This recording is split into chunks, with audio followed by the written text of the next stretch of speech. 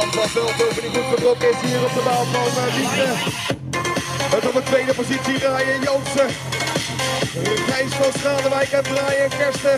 De nummers 3 en 4. Maar vooraan het erop van Veldhoven. Van Veldhoven, Gijs van Schadewijk en Brian Kersten. Ja, de rit in deze B-finale is van Bram van Veldhoven. We gaan door naar de A-finale Boys 12.